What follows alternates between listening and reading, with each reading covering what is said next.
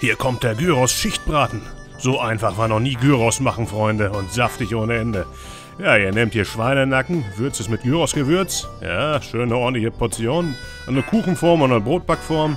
Und ein paar Schnüre rein, dann immer Feta, Zwiebeln und so weiter, alles Schichten. Ja, sieht das nicht gut aus. Ja, und dann knotet man alles zusammen und oh, da ist er auch schon, Freunde. Ja, und jetzt kann er einfach ab auf den Grill. Night! Schuh! Nightschuh schnappen. ja, sonst äh, verbrennt man sich die Pfoten. Ja, hier Kohle, Indirect Heat machen hier, so ein Auffangschale rein, ein paar Bierchen rein, äh, zum Dämpfen. Geht auch alles im Backofen. Hier, ich räuchere das Ganze noch ein bisschen. Kittel drauf und dann, oh, da ist das Monster.